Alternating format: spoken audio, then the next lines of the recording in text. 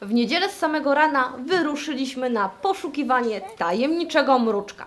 Detektyw Julia Konior szybko odkryła, że te ciekawe dźwięki wydaje żaba trawna. W drodze spotkaliśmy Kamilę Polok, miłośniczkę płazów, która dołączyła do naszej ekipy, by wspólnie przyjrzeć się tym ciekawym zwierzętom. Żaba trawna poza okresem godowym przebywa pośród traw, gdzie ukrywa się przed wrogami, jakimi są zaskrońce czy jeże. Wspomniane mruczenie to wiosenne nawoływanie samców i zachęta do godów.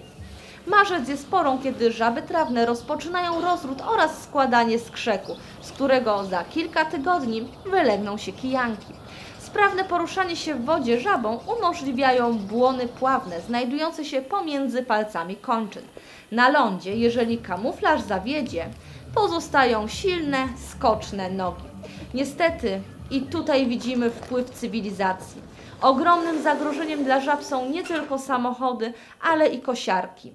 Zaobserwowaliśmy okaleczoną żabę. Na koniec zapytaliśmy ojca Kamili, co sądzi o pasji córki. Córka bardzo lubi żaby i bardzo jest zainteresowana przyrodą i jej podoba się to i nie zabraniam jej takich rzeczy, bo jednak jest dobrze, że umie się jakoś rozwijać i lubi tą przyrodę. Pamiętajmy, szanujmy żaby, bo kto wie, może któraś z nich to zaklęty książę.